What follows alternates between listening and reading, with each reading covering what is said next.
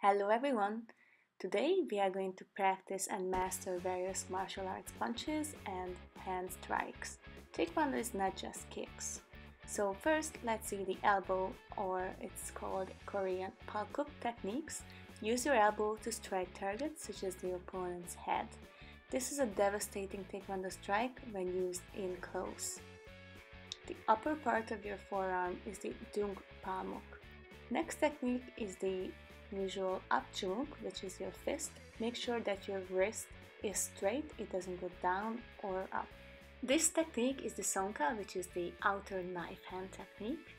And the inner knife hand technique is called the sonkal dung. Use the outer side of the open hand with your fingers together to hit soft areas such as your opponent's neck. Try to hit the side of your hand versus using your pinky in order to lessen the chance of injuring yourself. The outer side of your forearm is called bakat palmok in Korean, which is a defending and also an attacking technique. So make sure that your block is strong. Our next technique is the Bichibochirgi, which is called the upset punch. And here is the crescent or the hook punch, which is called the Bandal Jirugi.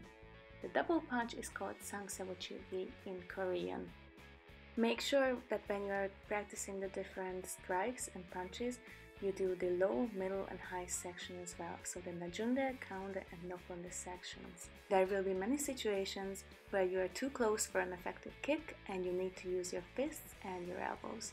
Moreover, your kicks will be more effective if used in combination with punches and strikes.